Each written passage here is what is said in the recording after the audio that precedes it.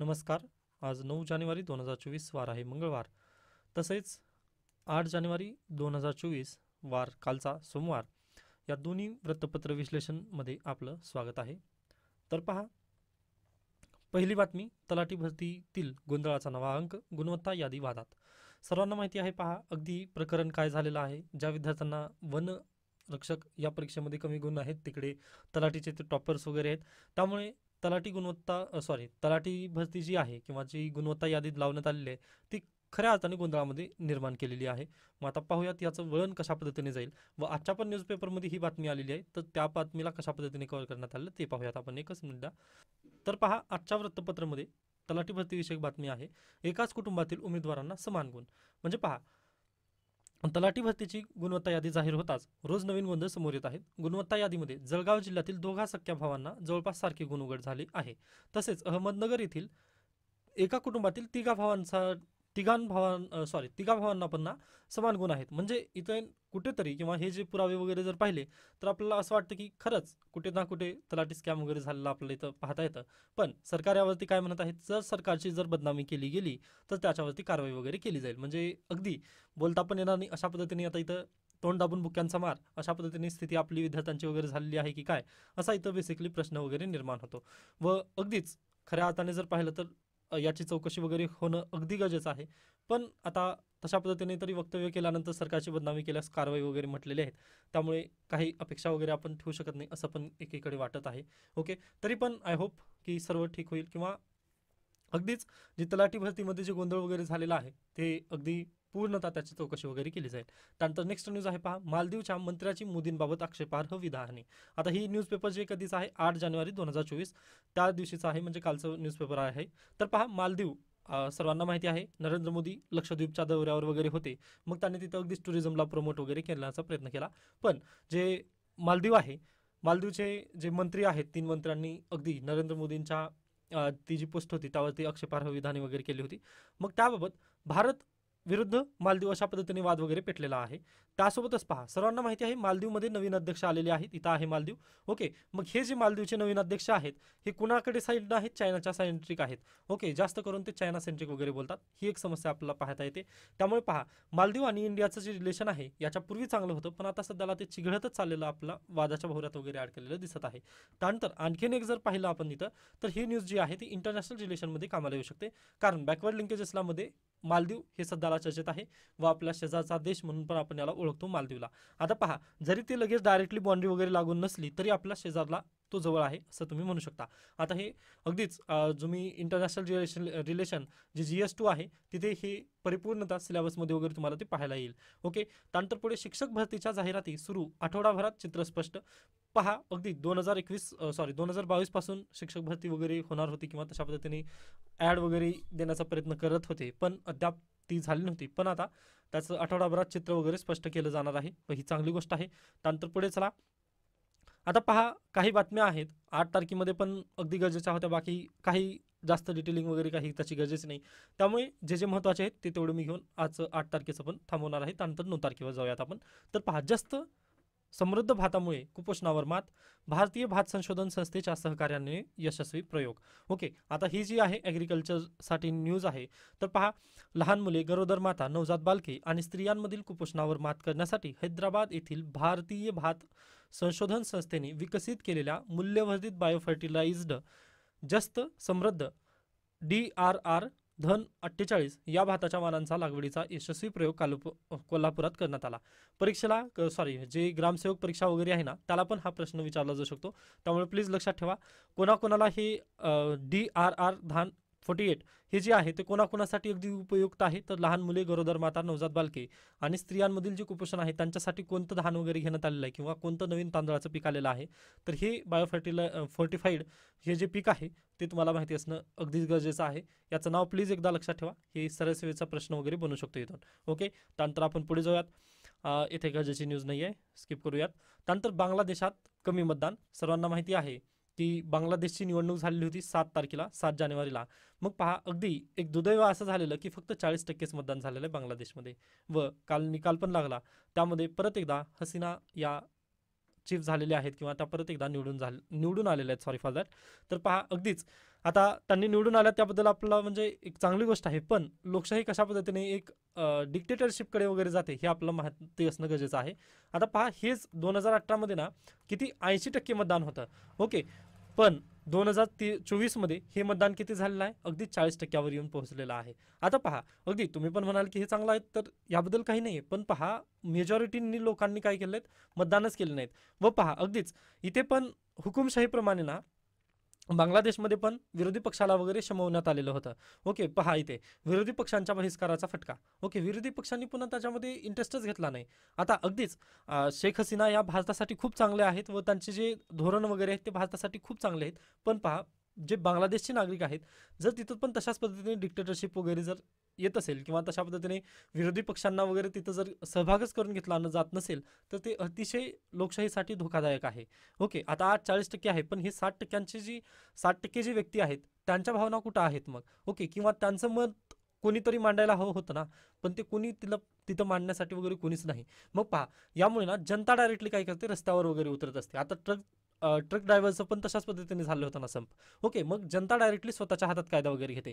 त्याचा नुकसान जास्त देशाला पोह देशाला होतं. ओके मग याच्याऐवजी जर लिडर्सद्वारे जर ते काम वगैरे झालं असतं ना लोकशाहीमध्ये तशा पद्धतीने याच्यापूर्वी तुम्हाला माहिती आहेत उदाहरणं. ओके संविधान सभेची वगैरे उदाहरणं तशी माहिती आहेत.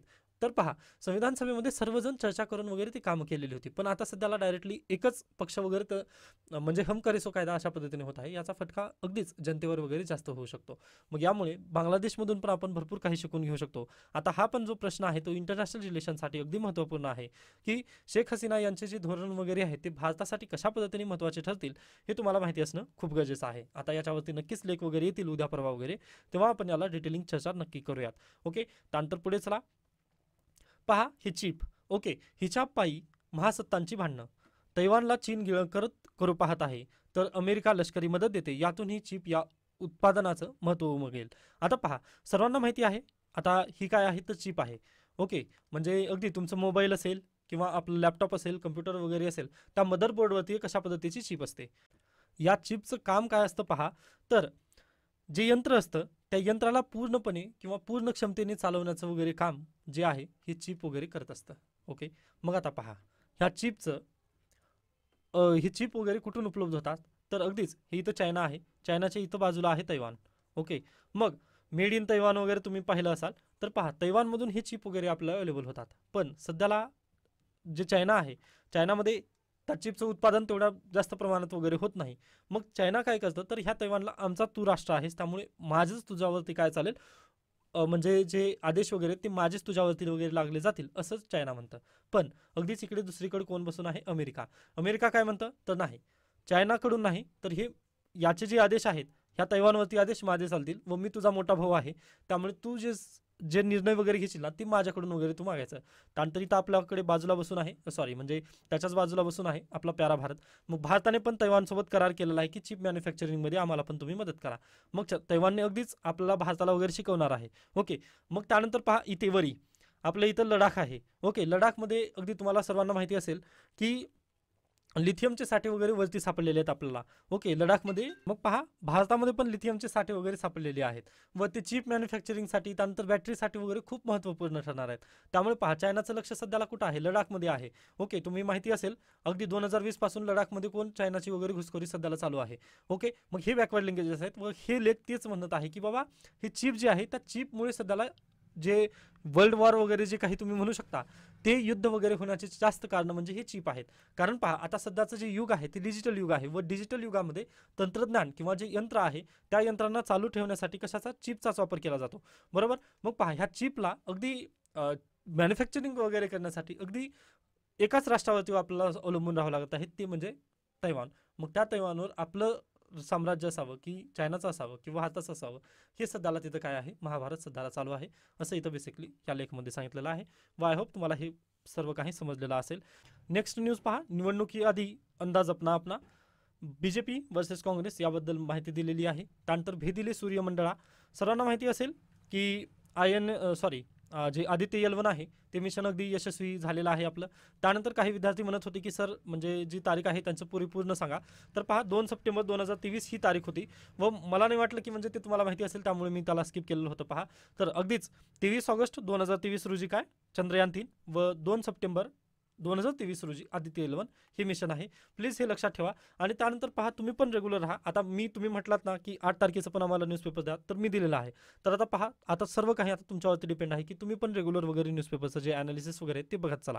कारण पहा जी काल मी न्यूज कव्हर केलेली असते ना ती मी आज परत कव्हर करत नाही. आता ही काल न्यूज मी कव्हर केलेली आहे. त्यामुळे आज याच्यामध्ये डिटेल वगैरे जात नाही आहे ओके आय होप तुम्हाला सर्व काही समजत असेल. त्यानंतर राज्याच्या साखर उत्पादनात वाढ होणार का? किंवा वाढ होणार? प्रश्नचिन्ह आहे त्यामुळे स्किप करू शकता. व पहा सध्याला दुष्काळी परिस्थिती वगैरे आहे त्यामुळे काही कुछ कह नाही सकते अशा पद्धतीची सिच्युएशन आहे. व आपण अभ्यास करून ठेवायचा एवढा मोठा म्हणजे खोदा पहाड निकला चुहा अशा पद्धतीने आपल्यावर होऊ नये यासाठी मी स्किप केलेला आहे. त्यानंतर आजचं नऊ नऊ जानेवारीचं वृत्तपत्र पहा. दहावी बारावीच्या विद्यार्थी संख्येत वाढ राज्य मंडळाकडून कारणांचा अभ्यास. त्यानंतर म्हणजे अगदी पंचवीस हजारांनी दहावी बारावीच्या विद्यार्थ्यांची संख्यात वाढ वगैरे झालेली आहे मग तेच महाराष्ट्र राज्य परीक्षा मंडळ वगैरे जे आहे त्यांनी काय करणार आहेत? त्याची कारणांची वा- कारणं वगैरे तपासणार आहेत किंवा कारणांचा अभ्यास करणार आहेत. का? कारण पहा कसं काय एवढी पंचवीस हजार विद्यार्थी अचानक वाढलेले आहेत हे त्यांना पाहायचं आहे. त्याबद्दल आहे ती न्यूज. त्यानंतर महाविद्यालय विद्यापीठ स्तरावर स्कूल कनेक्ट. राष्ट्रीय शैक्षणिक धोरणाबाबत माहिती देण्याचा उद्देश आता अभियानाची काय वैशिष्ट्ये आहेत ते पाहूयात. तर पहा राष्ट्रीय शैक्षणिक धोरण दोन हजार वीस मधील विद्यार्थी हितकारक बदल परिणामांविषयक विद्यार्थी पालकांना मार्गदर्शक करणे त्यानंतर विद्यापीठांच्या बहुउद्देशाकीय लवचिक अभ्यासक्रमांबद्दल माहिती देणे तसेच श्रेयांक पद्धती आणि त्यातील लवचिकतेबाबत मार्गदर्शन करणे आणि शिक्षण अर्धवट सोडून रोजगाराकडे वळलेल्या विद्यार्थ्यांना मुक्त शिक्षणाविषयक माहिती देऊन शिक्षण प्रवाहात आणणे तसेच विद्यार्थ्यांना शिष्यवृत्ती विद्यार्थी सहाय्यता कक्ष सर्वांगीण विकासाच्या बाबतीत संधीविषयक माहिती देणे. हे नवीन शैक्षणिक धोरण जे आहे त्याबद्दल याच्या अंतर्गत वगैरे हे करण्यात येणार आहे. ओके? म्हणजे स्कूल कनेक्ट जे आहे त्याचीही उद्दिष्टे आपल्याला सांगता येतात. ओके? त्यानंतर पुढे ही बातमी आपल्यासाठी गरजेची नाही. इथली पहा गुजरात सरकारला चपराक बिल्किस बानो बलात्कार हत्या प्रकरणी दोषींची शिक्षा माफी रद्द व सुप्रीम कोर्टाने काल अगदीच जे अकरा आरोपी सोडण्यात आलेले होते. त्यांना दोन आठवड्याचा टाइम दिलेला आहे. परत त्यांना जेलमध्ये जायचं आहे. चांगली घटना आहे पहा. त्यासोबतच न्यायमूर्ती बी व्ही राग नागरत्ना यांनी काल बो जेव्हा जजमेंट देत होते त्यावेळेस त्यांनी एक वाक्य बोलून गेले. ते मी तुम्हाला सांगणार आहे. तर पहा जे घडून गेले आहे ते बदलू शकत नाही. त्यामुळे झालेली शिक्षा सूड घेण्यासाठी नसून पुन्हा असे घडू नये आणि सुधारणेसाठी असते. ज्येष्ठ तत्ववेत्ता म्हणजेच प्लेटो यांनी म्हटले आहे की न्याय देणाऱ्याने डॉक्टरांचे अनुकरण केले पाहिजे. औषध केवळ वेदना शमवण्यासाठी नव्हे तर रुग्णाचे भले व्हावे यासाठीही दिले जाते.